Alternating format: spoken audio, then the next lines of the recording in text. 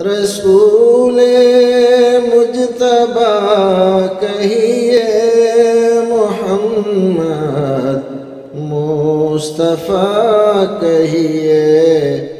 परवेज़, अब ये कौन से परवेज़ हैं, कहाँ के हैं, ये इन्होंने नहीं लिखा।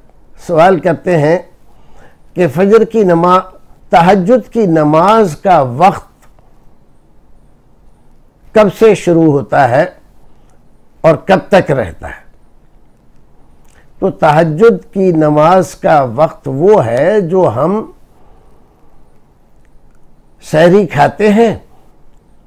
तो तहजद के वक्त में शहरी खाते हैं।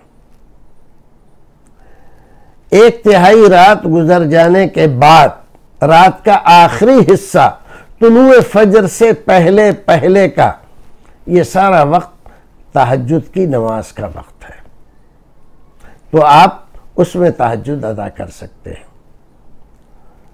तुलु फजर, यानी सुबह सादिक से पहले पहले, जिसमें शहरी खाई जाती है। यही वक्त है तहजद का। तो अजान फजर होती है तुलु फजर के बाद, सुबह सादिक में। लेकिन उन मस्जिदों का ख्याल कीजिएगा जिन मस्जिदों के लोग समझदार हैं, शरी मसाइल को जानते हैं।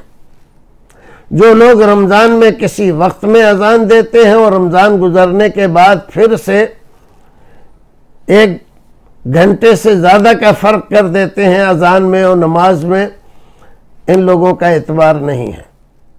लिहाजा आप ये सोच के कि अभी मस्जिद में अजान नहीं हुई है, लाओ तहजद पढ़ लें।